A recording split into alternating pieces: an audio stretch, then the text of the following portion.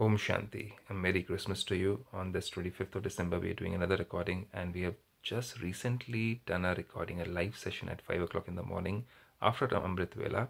And uh, in that session, we have spoken about Christmas, and we also spoken about has Santa really arrived already?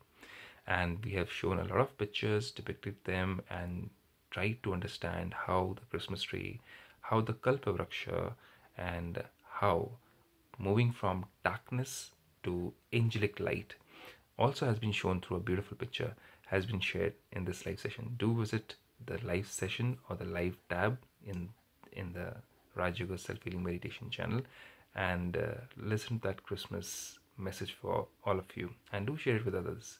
So now let's get back to this beautiful Vardan today. Supreme Father wants us to be in his canopy of protection and he says they are just two words. If you use them throughout the day you'll feel as if you're protected and you have become mayajit that means you have become someone who is a conqueror of maya.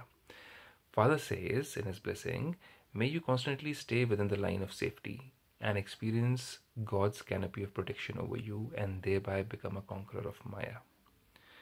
The father and you baba or मैं the father in you is the line of safety. That means he and I the soul. This safety line is God's canopy of protection. Maya will not have the courage to come to those who stay under this canopy. But as soon as the link is broken, that means, let's say a child is crossing the road and he's holding the hand of his mother, and suddenly he says, Oh, I'll do it on my own.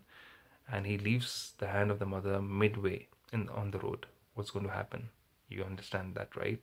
There are very few percentage chances that he'll be able to cross that road or he'll panic or he'll feel confused.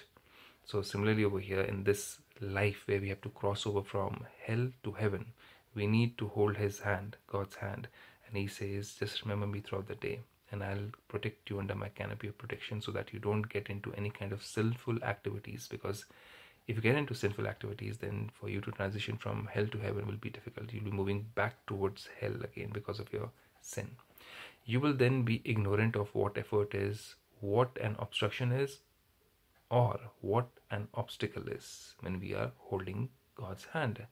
So we'll be ignorant of what effort is. You're crossing the road, you are holding the hand of your mother, and here of Baba, that means remembering him, and we're crossing the road of our life.